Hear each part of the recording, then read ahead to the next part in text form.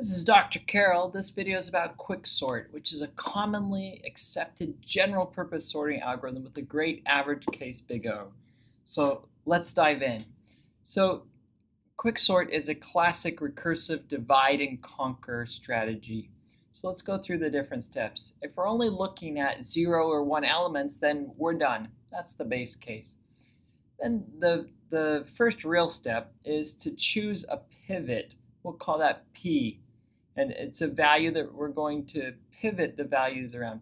So once we have our pivot, then we get all the values that are less than p to the front of the array, and all the values that are greater to p to the back of the array. This is the divide, okay? And so we could show this with set notation as we have, um, we're going to have p here, um, and then we're going to have the values less than p, and then we're going to have the values greater than p, okay? And we, we put p at the front. Then we put the p between the two partitions, and that's going to look like this. The values less than p to the front, p in the middle, and then the values greater than p. Okay, and then we're going to sort each partition with recursive calls. And so if we do this enough times, we, we've put one number in place, but we've divided up the numbers to to partitions of which they can be sorted into. Now, a key part of this is how do we choose the pivot? Okay, and that, that's a, a active area of research. The pivot selection, well, let's go through two scenarios. There's a lot more than this, but we'll just simplify with two. We could, let's talk about a bad choice first. So a bad choice is the first index, okay? Or for that matter, the last index. And one way to remember this is what if the initial array values were all already sorted? That would make one of the partitions here empty if it was already sorted and, and P just happened to be the very, the, um, P happened to be the, the lowest value. And that's easy to do because we put P at the beginning of the so we might say, hey, we can save a swap and just assume it's that. But we don't want to do that. That's a, that's a bad choice. A good choice would be something like take the median of the first, the last one, and calculate the middle one, and figure out well what's the medium of the median of these two. The the median is the uh, the value that's going to be in the middle. It's a simple um, a simple calculation, but avoids the worst case scenario. Let's see in an example here. Here's some random numbers, 71953, and this is our initial array. So step one is to pick up a pivot. So we're going to go with the good choice of uh, pivot selection. We're going to look at the median between 7, 9, and 3. Well, the median is 7, so we're going to choose the pivot as a, a pivot as 7 as our value for our initial uh, quick sort here. Okay, so now we need to swap it out of the way, swap it with the first value. Oh, well, that's itself in this case but um, algorithm is and al as the algorithm does. And so I'm going to introduce some notation here.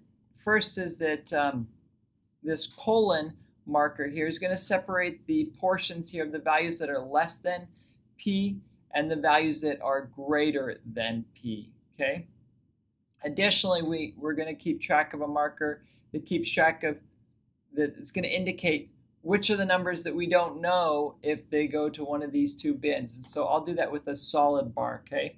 So the colon is between the less than and the greater than partitions, and the solid bar is for the uh, ones we haven't classified yet. So right now, the, the two partitions are empty and everything is unknown, okay, that we, have, we haven't looked at. So we're going to go through here and we're going to put them into the um, appropriate partitions.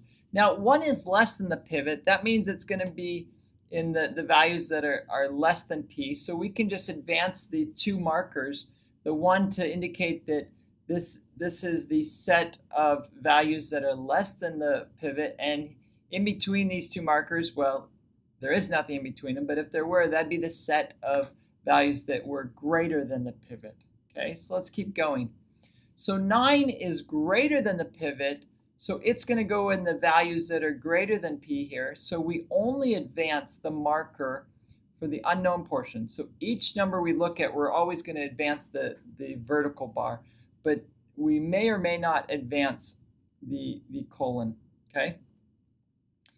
Now, uh, 5 is less than the pivot, and as we did with 1, but I glossed over it, we, we're going to swap it with the first number that's in the larger portion. And that's going to be an easy way to, to keep these sets straight.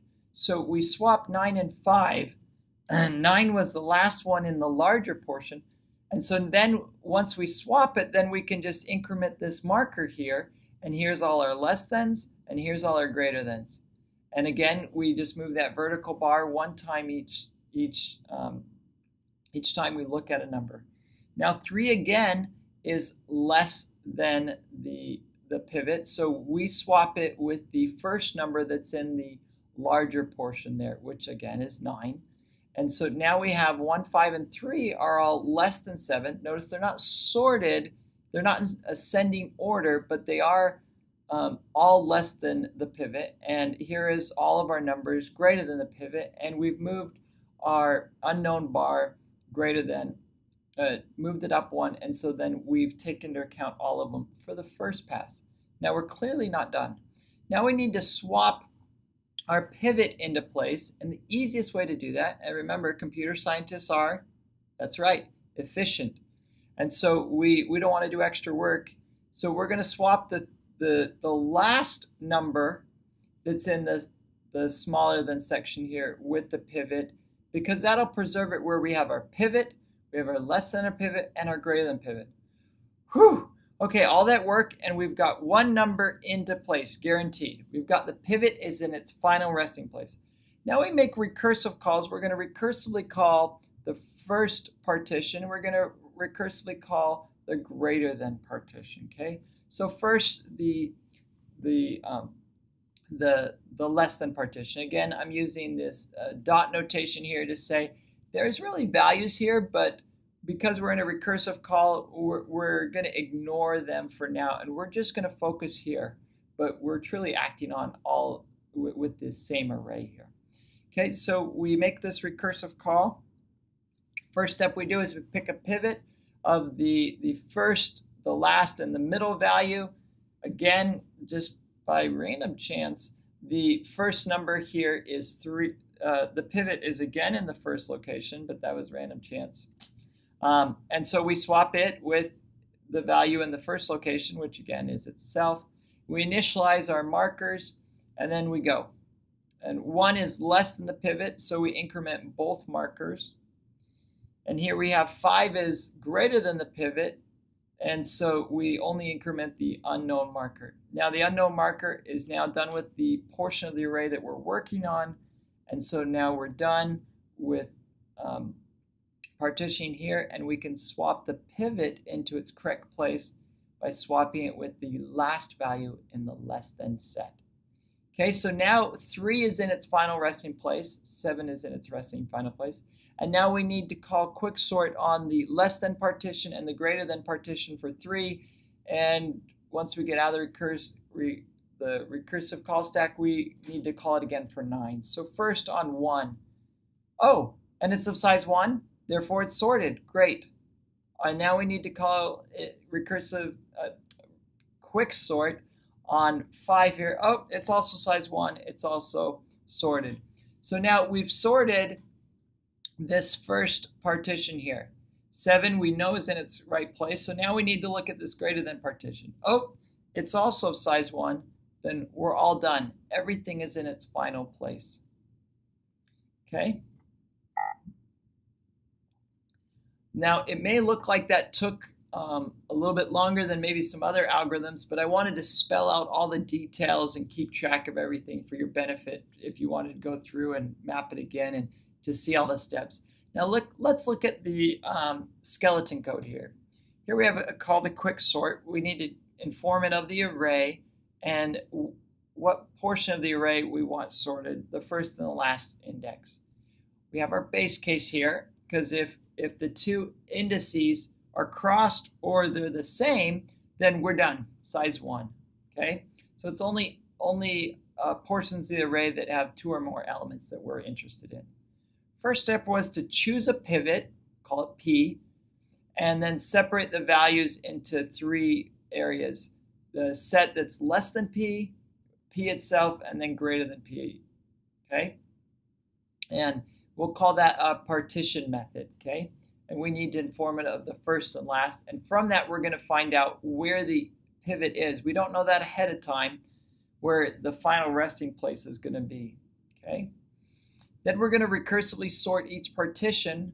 That means the first set up until just before the pivot, and then the other set the after the pivot to the last. Notice with other algorithms, we, we needed them to come next to each other, but here the pivot's in the middle here. So we do this set is this call, and then this call is this set, and we know P is in its final resting place, okay? Well, that's great, except what about partition? what does partition look like? So we choose a pivot in partition, and as mentioned, we're gonna go with the good choice. We're gonna choose the median of the first, the middle, and the last values, and then we're gonna set that to the pivot index. That's a whole bunch of conditional statements, so I'll just leave it as that simple line there. This is skeleton code anyway. And then we're going to need to return the pivot index for quicksort's benefit. We also need to swap the pivot out of the way so that we can walk down and, and make the two sets. And so we'll swap it with the first item to get it out of the way. Okay. Now we're going to move one item at a time. That's the vertical bar until the un, unknown region is empty. So we're just going to, the first unknown is going to be the index. We're just going to go until we've hit the last one. And what we're going to do is move uh, the item from unknown into its proper partition, into the proper partition. Now, if it's greater than the pivot, great. All we need to do is move the first unknown marker. But if it's less less than the pivot, then it needs to go in the less than partition. And so that's why we have this if statement here. And we're going to move the divider, and then we're just going to swap the, the, the first one that is in the greater than set and where the first unknown is. And, um, and that'll, and then after we're done with this, then we're going to increment the first unknown. Okay. And that's going to put it, if it's less than the pivot, into place. And and there we have it. That's that's partition. Let's look at the call stack for this simple example to get an idea. So we're going to call we're going to have a, a call to quick sort from 0 to 4, the entire array. And that call to quick sort is going to make three calls, partition, quick sort, and then quick sort. Now they don't all happen at once, but for visually I want to indicate this. So we're going to call partition here, and it's going to choose a pivot and put them all in the sets.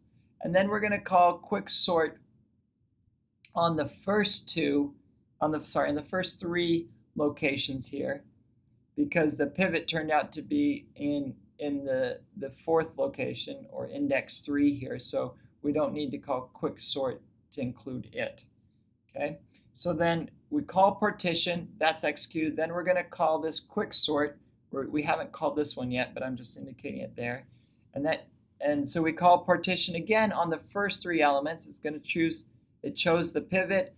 The pivot is going to end up in index one. And so we need to call quick sort again on that first element. Oh, size one, done. Call quick sort again on the, the third element, done. And now we're all done with the first three elements. We call quick sort on that last element, size one, and we're done. Okay, so let's talk about efficiency here. Quicksort just makes recursive calls and a call to partition, okay? So, so um, that's going to help guide our, our analysis here. And uh, this is a intuitive analysis more than a, a more formal analysis, okay? So on average, there's about two times log base 2 n calls to quicksort. Again, we're going to assume that n is, is a power of 2, and if not, the analysis comes out very similarly. Except that notice I said on average here, okay? And partition is going to take order n time. It, it has to walk through the, the array, and then it, then it it does some swaps along the way, but it's, it's order n. So what we have is 2 times log base of 2n times n. Well, simplifying that, that's n log n, okay? So now let's talk about its characteristics. Is it stable? No. Those swaps change it from its original location, eh, regardless of what it, the original location, and it's going to mess up that order for us, okay? Does it, does it take extra space? Well, actually, that the recursive call stack there could get, on the worst case, order n. And that's going to be for all those recursive calls. Uh, the, for the average case, the, the big O is going to be n log n, which is great. And let me just reiterate, this is uh, often considered a general purpose um, sorting algorithm for its average case. But what would happen if quicksort was called with, say, sorted data? It's going to end up making these partitions that um, are only reduced by one size each call to quicksort. And so it actually would end up being n, n squared algorithm. And that's its major limitation as we have this worst case. Now notice our choice of pivot is going to help make that uh, be further away from that. And that's going to be key to that. But it really does have this worst case n squared uh, uh, big O. Is it adaptive? No, it's not. I also want to point out that there are variants to this. I just want to present a, the simple implementation initially. For example, the three-way partition variation, which is going to improve on some of these characteristics like the extra space and things along those lines. That's it for the video today.